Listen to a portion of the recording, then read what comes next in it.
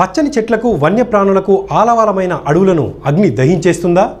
వేల కోట్ల విలువైన అటవీ సంపదంతా అగ్నికి ఆహుతవుతుందా ఇంకా ప్రజలంతా వర్షాలు లేక కరువు కాటకాల్లో జఠరాగ్నికి బలి కావాల్సిందేనా? అసలు అడవులు ఎందుకు తగలబడుతున్నాయి? దీనికి బాధ్యులెవరు? ఏం చేస్తూ ఉంటాయి? ఈ అడవుల పచ్చదనం ప్రతి ఏటా కావలసినంత వర్షపాతాన్ని నమోదు చేస్తూ పాడి పంటలకు సమృద్ధిని చేకూరుస్తుంది.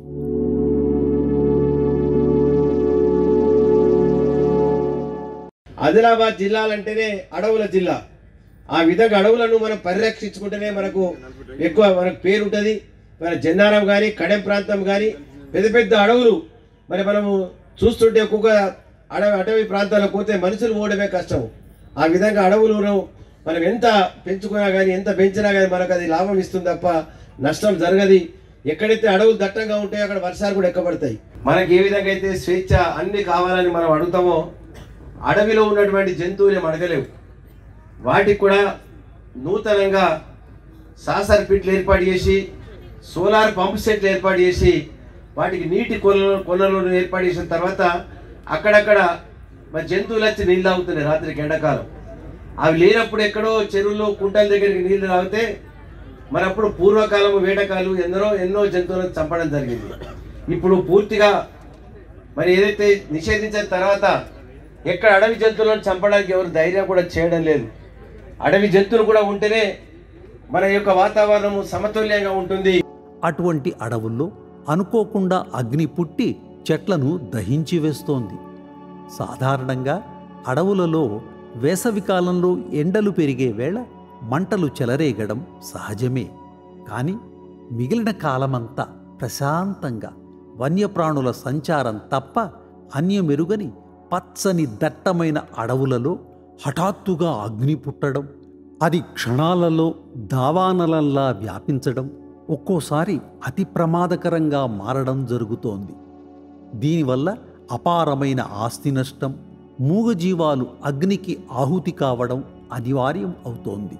మన దేశంలో రెండు వేల పదిహేను సంవత్సరంలో పదిహేను వందల చోట్ల అడవులు తగలబడితే అది ప్రస్తుతం రెండు వేల ఇరవై రెండు నాటికి ఇరవై వేలకు పైగా నమోదు అయ్యింది.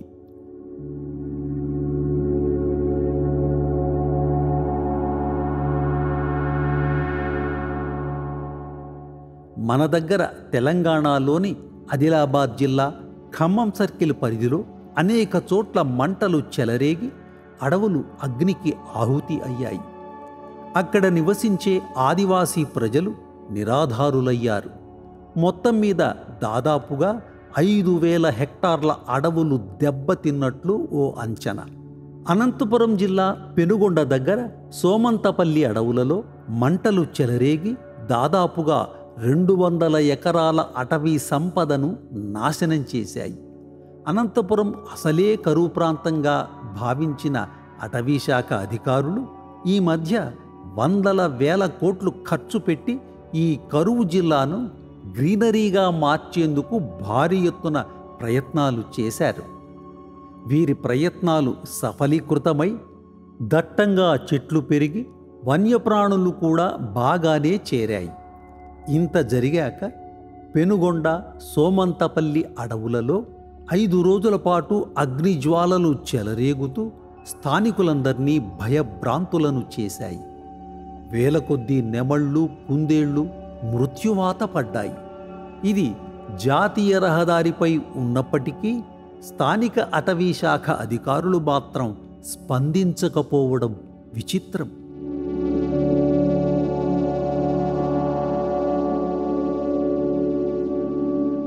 అదేవిధంగా తెలుగు రాష్ట్రాలలో తిరుపతి శేషాచలం కొండలపై మంటలు ఐదు రోజులు చెలరేగి ప్రభుత్వ సిబ్బందికి అదుపులోకి తేవడం అత్యంత ప్రమాదకరంగా మారింది.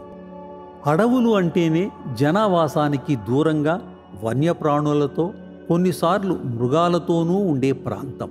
మరి అటువంటప్పుడు అప్పటిదాకా ప్రశాంతంగా ఉన్న అడవులకు అగ్ని రాజుకుంటే సాధారణ ప్రజానీకానికి ఈ విషయం ఎలా తెలుస్తుంది? అడవుల్లో అగ్నిశిఖలు రావడం మొదలైనా వాటంతట అవే అదుపులోకి రావాలి కానీ అన్ని చోట్లకు సిబ్బంది వెళ్ళరు కదా. ఈ లోపలే కార్చిచ్చు రగిలి దావానలంలా మారిపోతే ఎలా? అసలు అడవులు ఎందుకు తగలబడతాయి? వీటికి ఎవరు బాధ్యులు? ప్రకృతి వైపరీత్యమా? మానవ తప్పిదమా? సహజంగా వేసవిలో ఉష్ణోగ్రతలు ఎక్కువగా ఉన్నప్పుడు అడవులలో అగ్గి పుడుతుంది. అడవులు అగ్నికి ఆహుతి కావడానికి ఒక్కో ప్రాంతంలో ఒక్కో కారణం ఉంటుంది.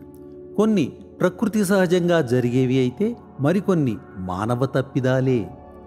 అడవుల్లో దట్టంగా పెరిగిన ఎండుగడ్డి రాపిడికి గురై మంటలు సృష్టిస్తోంది.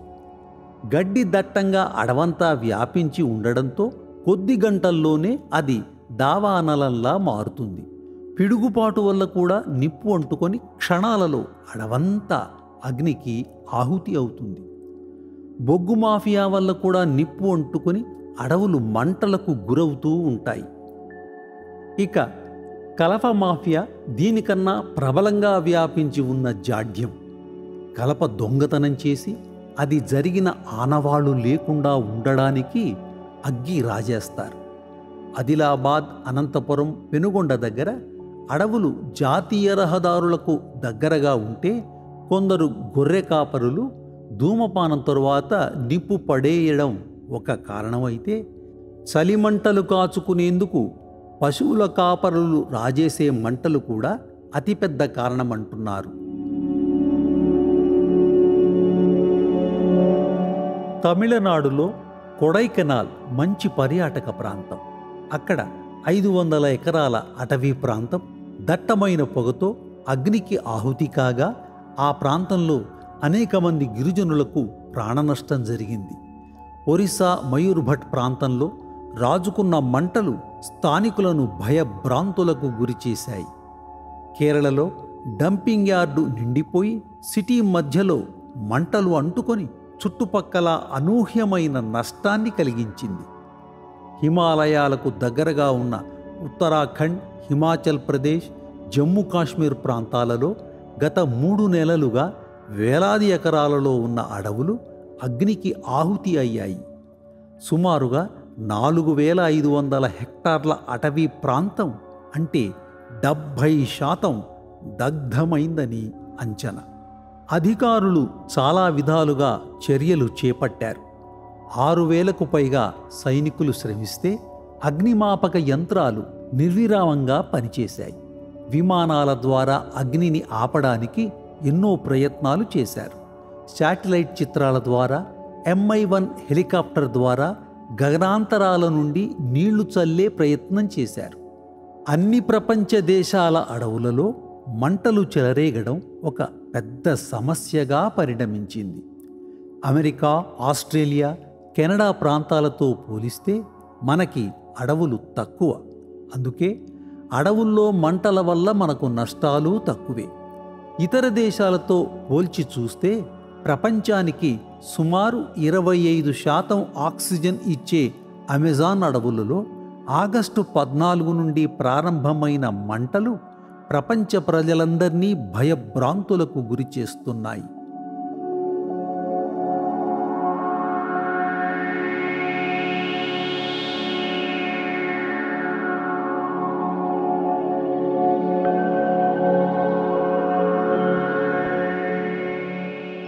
దక్షిణ అమెరికాలోని బ్రెజిల్లో సుమారు డెబ్భై నాలుగు లక్షల ఎకరాల అడవులు అగ్నికి ఆహుతైతే ఆ అడవిలో బ్రతుకుతున్న ముప్పై లక్షల జీవరాశులు అగ్నిలో దహించుకుపోయాయి. పది లక్షల మంది ఆదివాసులకు ధన నష్టం ప్రాణ నష్టం జరిగింది. సంపన్న దేశాలైనా అభివృద్ధి చెందుతున్న మన దేశమైనా అడవులు మన వారసత్వ సంపద. వీటిని ఎప్పటికప్పుడు వృద్ధి చెందేలా కాపాడుకోవడం మన బాధ్యత. ఎక్కడ చూసినా కానీ ఇవాళ పచ్చదనం కనబడతా ఉంది. అడవిలో మరి పూర్తి ఎక్కడైతే ధ్వంసం అయిపోయిందో అడవులను కూడా దట్టంగా పెంచాలని చెప్పి రీజనరేషన్ పునర్జీవన కార్యక్రమం కూడా పెద్ద ఎత్తున ఫారెస్ట్ డిపార్ట్మెంట్ వాళ్ళు తీసుకోవడం జరుగుతుంది. ఇవన్నీ కూడా రేపు పర్యావరణంలో భాగంగా మన సమాజంలో ఎంత డబ్బున్నా కానీ మనం వచ్చినప్పుడు ఏంది వచ్చి వచ్చినమో పోగా కూడా ఏం తీసుకపోము. సమాజంలో మళ్ళీ మనకు పుట్టే బిడ్డలు సుఖవంతంగా ఉండాలంటే పర్యావరణ పరిరక్షణగా ఉండాలి పరిరక్షణ జరగాలి. అడవులు లేకుంటే రేపు పీల్చే నత్తని గాలి ఆక్సిజన్ దొరకకుంటే మనం బతకలేము. ఆ విధంగా అడవులు కూడా పెంచడంలో మనందరికి కూడా అవసరము. ఎవరికైతే భూమి లేదో కావాలన్నటువంటి కోరికలు ఉంటాయి ప్రతి ఒక్కరికి. అడవుల వల్ల వర్షాలు మిగిలిన ప్రయోజనాలన్నిటి దృష్ట్యా కాపాడుకోవడం ఒక ఎత్తైతే అడవులు దగ్ధం కావడం వల్ల రాబోయే కాలాల్లో నదులు ఇంకిపోయి నీటి కరువు కూడా ఏర్పడే సమస్య ఉంది. దేశంలోని అనేక జీవనదులకి హిమాలయాలే ఆధారం. కానీ అడవులు తరచుగా మంటలకు గురి కావడం వల్ల హిమాలయాలలో మంచుకొండలు వేగంగా కరిగిపోతాయి. ఆ పొగ నుండి బయటికి వెలువడే బ్లాక్ కార్బన్ ధూళి కొండలను చుట్టేసి త్వరగా కరిగిపోయేలాగా చేస్తాయి. ఈ కార్బన్ వంటి వాటితో ఆ హిమనదుల నుండి కరిగి ప్రవహించే నీరు కూడా కలుషితం అవుతుంది. మేఘాలలో బ్లాక్ కార్బన్ చేరి పైన పొరలాగా ఏర్పడడం వల్ల ఋతుపవనాల సహజత్వానికి ఆటంకం ఏర్పడుతుంది.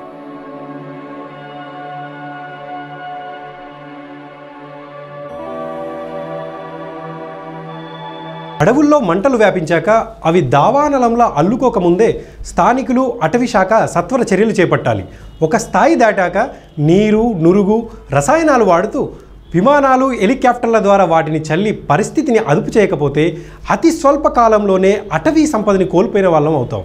కొన్ని పర్యాటక ప్రాంతాల్లో మినహా ప్రభుత్వం అంతగా అగ్ని నిరోధక చర్యలు చేపట్టడం లేదు అనేది స్థానికుల ఆరోపణలు. మనది సస్యశ్యామలమైన దేశం. నదీ జలాలతో అటవీ సంపదతో పచ్చని చెట్లు పచ్చిక బయళ్ళతో అలరారే అందమైన దేశం. మరి కొద్ది కాలంలో ఈ దేశం ఏం కానుంది? అటవీ శాఖ సమర్థవంతంగా ఈ సమస్యకు చెక్ పెడుతుందా? లేక ప్రకృతి వైపరీత్యాలు మానవ తప్పిదాలు వెరిసి మనిషి వినాశనానికి దారితీస్తాయా? అడవులు కాపాడడం మనందరి బాధ్యత. మొక్కల్ని విరివిగా పెంచుదాం అడవుల్ని పరిరక్షిద్దాం.